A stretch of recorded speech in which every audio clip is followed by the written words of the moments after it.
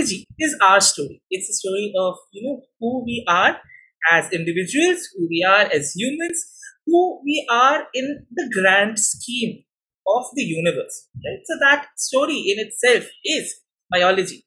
And the reason behind that is essentially each one of us is the universe.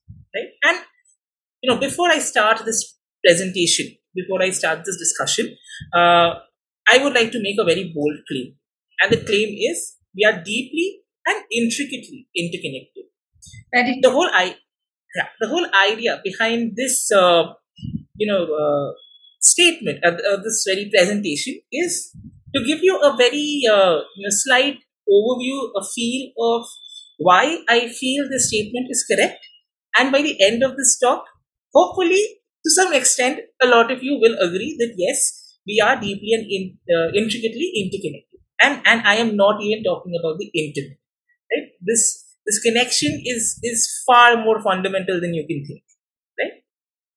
So at the beginning of the talk itself, uh, I would like to introduce two quotes that I feel kind of summarize the feelings that we as scientists uh, have towards the field. Okay? Number one would be life will always find a way. And uh, I'll be you know, discussing in a lot more details why I feel this statement by a completely fictional character in Jurassic Park encapsulates the essence of life on Earth. And the second quote is we are a way for the cosmos to know itself. Again, a quote, uh, you know, by the very, very famous uh, cosmologist Carl Sagan. A lot of, uh, you know, modern scientists, current day scientists look up to him as an example of a person who can really, really bring science into the daily life.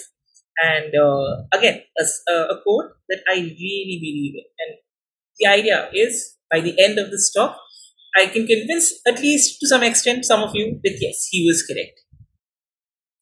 So if we look at Earth, you know, uh, in the very early ages, in the right after Earth was formed, the about say 4.5 billion years ago, it was a rocky, hot, molten landmass where life was impossible. You can see, you know, in, in the background, you can see the moon, you can see the rocky surface of the earth with the, you know, molten uh, lava flowing, and a lot, a lot of uh, you know bombardment happening onto the uh, young Earth, right? Mm-hmm.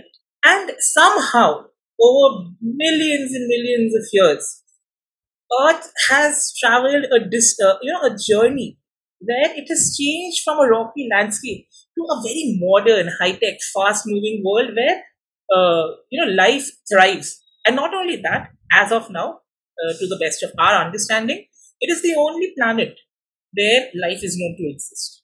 In in in this given form. And it's another topic that we can you know delve into another discussion what is life and how do we look for it and all that. But yeah in in whatever form that we recognize it most readily earth is the only planet that is known to uh, you know have and this transition is a marvelous journey. It's a marvelous journey. It is this journey that science tries to understand. And biology specifically you know, tries to answer a small piece of this puzzle. Like each field of science tries to answer one part of this puzzle. So when you put all of these together, you get the whole picture.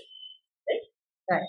So you know, talk uh, again. Coming back to the quote, I said, uh, "Life will find a way." And why do I believe this? Because in this, you know, immensely long history, you know, Earth there have been five major extinctions.